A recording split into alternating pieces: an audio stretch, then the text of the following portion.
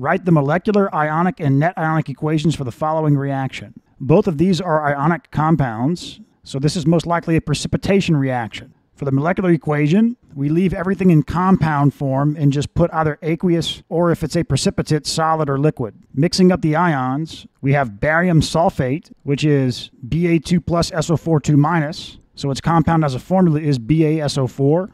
Do we put aqueous or solid? Checking the solubility rules. All sulfates are soluble, but barium is an exception. So this is insoluble.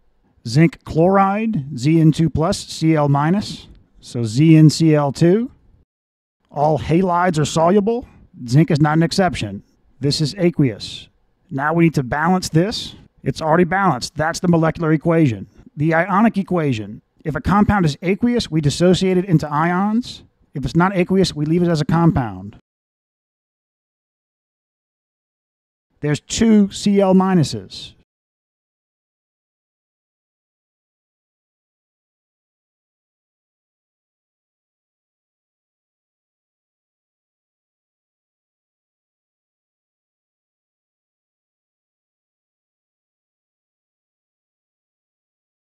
This is the ionic equation. To get the net ionic equation, we cancel the spectator ions.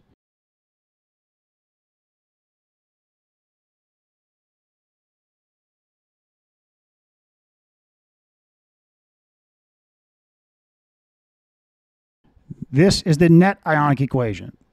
You can see that this is one of the standard precipitation reactions that we work in this chapter. Potentially at first glance, this could be a redox reaction, but if we take a closer look, no oxidation numbers change. Ions stay as ions, but just rearrange with different ions.